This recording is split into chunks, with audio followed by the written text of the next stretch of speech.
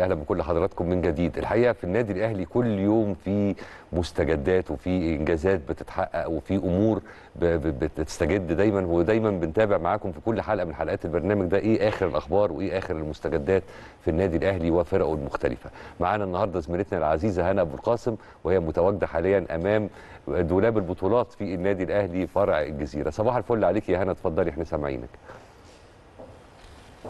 يا صباح الخير عليكم وعلى كل مشاهدي قناة الأهلي في كل مكان. يوم جديد و10 الصبح في الأهلي وزي ما عودناكم دايما هنقل لكم كل الأخبار المتعلقة بالنادي الأهلي وفرقه الرياضية المختلفة. لكن يا كريم قبل ما أبدأ أخبارنا النهاردة خلوني كالعادة أنقل لكم الأجواء داخل مقر النادي الأهلي بالجزيرة. الأعضاء متواجدين في النادي منذ ساعات يعني يمكن معظمهم موجودين حول المبنى الاجتماعي. في كمان بعض منهم بيمارسوا رياضة المشي في تراك النادي. الأجواء الحقيقة داخل النادي مليانة بالنشاط والحيوية. كمان خليني أقول لك إن الطقس داخل النادي معتدل يعني كل أعضاء النادي الأهلي تقدروا بقى تيجوا وتستمتعوا بالأجواء النهاردة. خلونا بقى نبدأ أخبارنا النهاردة والبداية مع الفريق الأول لكرة القدم. النهاردة الفريق عنده راحة سلبية من التدريبات. إن شاء الله هيستأنف تدريباته غدا استعدادا لمباراة سيراميكا كليوباترا اللي هتكون يوم الأربع ضمن منافسات بطولة الدوري. غدا الميران هيكون الساعة 5 وبعد كده الفريق هيدخل في معسكر مغلق عشان بقى يدخل في أجواء المباراة. كمان يا كريم خليني أقول لك إنه إمبارح كان الفريق خاض ميران بدون راحة بعد مباراة المقاولون العرب.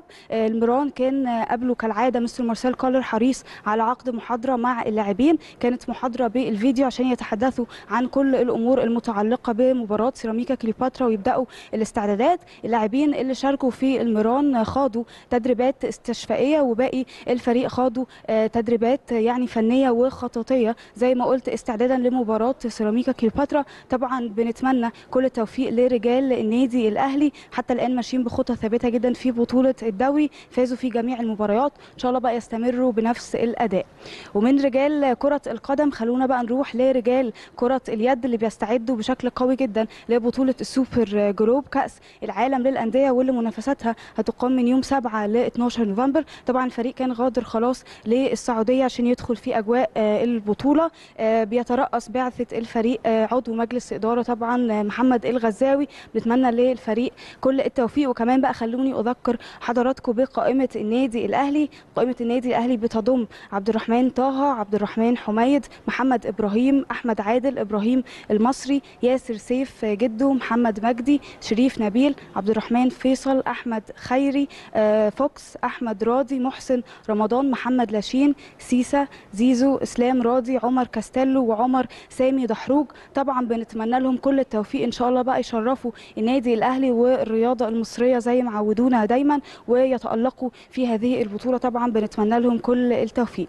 ده فيما يخص أخبار كرة اليد. الحقيقة إن أنا عايزة أقول لكم إنه مش بس رجال كرة اليد اللي شاركوا أو هيشاركوا في كأس العالم للأندية كمان شفنا رجال كرة السلة بيتألقوا في كأس العالم للأندية وبيحصلوا على المركز الرابع. إن شاء الله كمان رجال كرة القدم هيشاركوا الشهر القادم في بطولة كأس العالم للأندية وهو ده النادي الأهلي نادي البطولات وده طبعا بيدل إن النادي الأهلي هو بطل إفريقيا وبطل القارة السمراء فطبعا بنتمنى لهم كل التوفيق. نروح بقى دلوقتي لفتيات الذهب سيدات كرة الطايرة بالنادي الأهلي واللي النهاردة هتكون ضربة البداية ليهم في بطولة الدوري. هيكون عندهم مباراة أمام فريق أصحاب الجياد. مباراة إن شاء الله هتكون الساعة 4 العصر هنا على صالة النادي الأهلي. خليني بقى أنوه لكل مشاهدين قناة الأهلي إنه هيتم بث المباراة مباشرة. طبعا بنتمنى لهم كل التوفيق وإن شاء الله بقى يكون موسم كبير لفتيات الذهب. طبعا استعدوا بشكل قوي جدا لبطولة الدوري. شفناهم طبعا بيدعموا صفوف الفريق بعدد من الصفقات الجديدة اللي بنتمنى لهم كل التألق مع فتيات الذهب. إن شاء الله يكون موسم استثنائي. كمان بقى خلوني أفكر حضراتكم بمجموعة النادي الأهلي. النادي الأهلي بيقع في المجموعة الثانية بجانب أصحاب الجياد الواي الاتحاد السكندري وادي دجلة الصيد الشمس دلفي. وكمان خلوني أقول لحضراتكم هيكون عندهم مباراتين كل أسبوع يوم الجمعة ويوم الاثنين. طبعا بنتمنى لهم كل التوفيق. كمان استكمالا حديث عن كرة الطايرة خلوني أقول لكم إنه رجال كرة الطايرة أيضا بيستعدوا بشكل قوي جدا لبطولة الدوري. خلاص بقى ال count down بدأ هيبدأوا بطولة الدوري إن شاء الله يوم 18 11 يمكن خاضوا أكتر من مباراة ودية سواء مع سبورتنج أو فريق طلائع الجيش كل ده استعدادا لبطولة الدوري ولبداية الموسم اللي طبعا بنتمنى لهم زي ما اتمنى للفتيات الذهب. بنتمنى كمان لماسترز كرة الطايرة كل التوفيق. نروح بقى لرجال كرة السلة واللي طبعا هيواجهوا القناة في ضمن نهائي بطولة دوري المرتبط. المباريات إن شاء الله هتكون يوم الأربع والجمعة المقبلين. طبعا بنتمنى لهم كل التوفيق. إن شاء الله بقى يستعيدوا تركيزهم مرة أخرى ويتألقوا. زي ما شفناهم الحقيقة الموسم اللي فات كمان يستعيدوا مستواهم زي قلت مرة تانية ويتألقوا في جميع المباريات لأن هو ده الحقيقة اللي هم عودونا عليه. أما عن سيدات كرة السلة فخلاص تم تحديد موعد نصف نهائي بطولة دوري المرتبط واللي طبعا هيكون أمام فريق سموحة. المباريات هتكون يوم 7 و9 نوفمبر وهتقام بالإسكندرية بالتحديد على صالة برج العرب. طبعا ملكات كرة السلة الحقيقة عاملين موسم كبير جدا. حتى الآن فازوا في جميع المباريات ويمكن كمان في كل مباراة بيفوزوا بفرق سكور كبير. نتمنى لهم كل التوفيق وإن شاء الله بقى يستمروا بنفس الأداء.